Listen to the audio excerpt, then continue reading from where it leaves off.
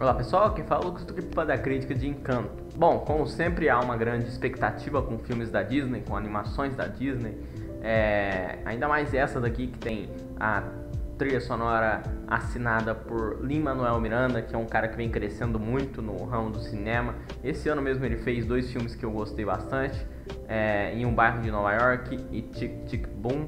Uh, então eu fiquei bastante animado para assistir Encanto. Nas montanhas da Colômbia vive a família Madrigal, onde cada membro é dotado de um superpoder, que vai de força extraordinária a capacidade de cura. A única exceção é Maribel, garota nascida sem poder nenhum. No entanto, quando a magia do vilarejo é ameaçada, a filha normal será a única capaz de salvá-los. Mais uma grande animação da Disney, que, que eu considero uma das grandes desse ano é, tem uma história muito linda, uns é, personagens muito, muito, muito caricatos, personagens muito carismáticos. É, é, o, é o padrão de uma animação da Disney que a gente espera, né? É, realmente a Maribel é um personagem que a gente consegue se identificar rápido, né? Ela tem toda aquela cobrança em cima dela, vinda da, da avó dela, e, e a gente consegue se ver na, na posição dela com, com essa questão da cobrança que vai em cima dela, por ela não ser poderosa como suas como seus parentes, né? Então ela acaba que fica fica nessa daí de ela ser muito cobrada, mas ela não tem muito o que fazer, ela, ela é uma pessoa entre aspas normal e tal. Então ela tenta dar o seu melhor, ela tenta é, provar aos outros o que ela, o que ela é.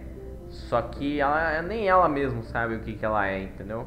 Então esse filme explica muito, não explica não, ele discute muito a questão do da de você tá tentando mostrar quem é você, mas você realmente sabe quem é você?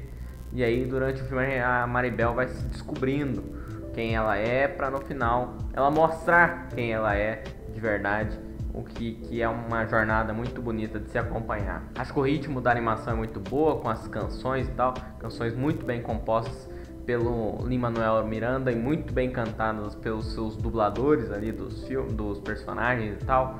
Realmente é muito legal, toda a dinâmica da animação. É mais uma animação muito bem produzida graficamente, né? É, a, a Disney juntamente com a Pixar, sempre fazem as animações mais bonitas visualmente e tal, pelo menos das 3D. Então é chover no molhado elogiar a qualidade gráfica de animações da Pixar barra Disney, né? É, é realmente é, algo de altíssimo nível. Eu, já falei isso na crítica de Luca, por exemplo.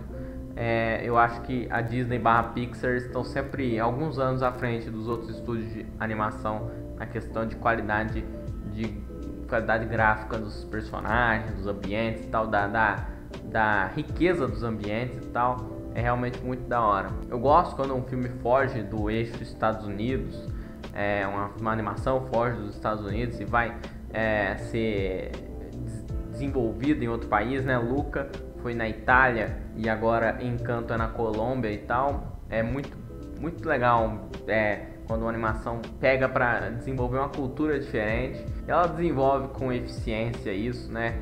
Ela não, não cai em estereótipos, tá? Ela consegue fazer algo respeitoso com aquela cultura que ela tá é, trabalhando durante o filme e tal. Então é isso. Minha nota para Encanto é 8. Bom, você já assistiu Encanto? Você já assistiu, comenta aqui o que você achou. Se você ainda não assistiu, comenta o que você espera. E é isso. Falou e fui. Tchau!